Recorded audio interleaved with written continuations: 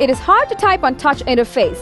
One main reason why we brand the typing as hard is because there's a higher possibility of users committing mistakes when they type. These mistakes might happen due to hurried typing, heads up or heads down typing, varying screen sizes, varying keyboard sizes, varying language proficiencies, etc.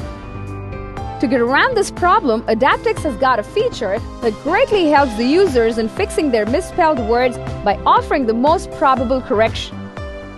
We generally tend to commit three kinds of mistakes in our regular typing. Mistyping. Let's say you want to type the phrase, this is too risky, and you end up mistyping the spelling of the word risky. You can find Adaptxt efficiently spotting the mistake and also offering the probable option to rectify it. Sometimes you type in extra characters when in a hurry. Let's say in the phrase, it is a great deal, we type a word great with a double R. Notice the suggestions bar now. The word with the right spelling is suggested, just select the suggestion with one tab and it replaces your erroneous word in line. Just like you end up with erroneous extra characters when you type fast, you may at times miss out characters too. Let's use a simple phrase I like cappuccino. And while typing, we misspell cappuccino. Adaptxt promptly gives you the correct word.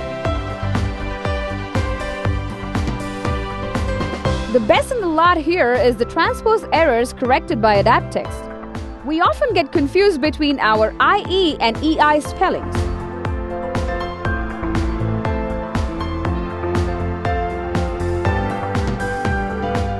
Try the standard word receive and swap the IEs as you type.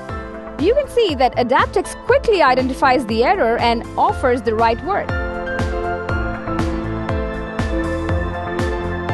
Get hold of this incredibly intelligent application on Android Market here.